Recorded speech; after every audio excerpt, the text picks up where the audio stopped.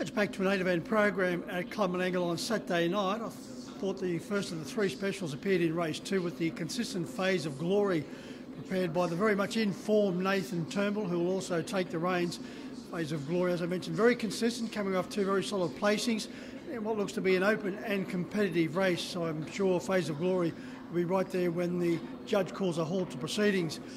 Now moving over to the second special, which appears in race five with number nine Orchid Stride for Jack Trainor. Jack was in the sulky last week when the mare led. It was run down late in finishing fourth behind her very smart stablemate BK Swive, which was driven by Jack Brown. Prior to that outing, Orchid Stride won four and on in fine style. She will find the lead despite drawing out wide and take a power of running down. So Orchid Stride the one to beat in race five. Moving over to race six and Alta Orlando, the 10 year old veteran returns from a mixed Queensland campaign during the Winter Carnival, coming off a very respectable fourth, beating eight metres to Majestic Cruiser in the Blacks A Fake. Draws ideally in gate two, and Alta Orlando, the class run of the field, and he should prove that in the sixth event.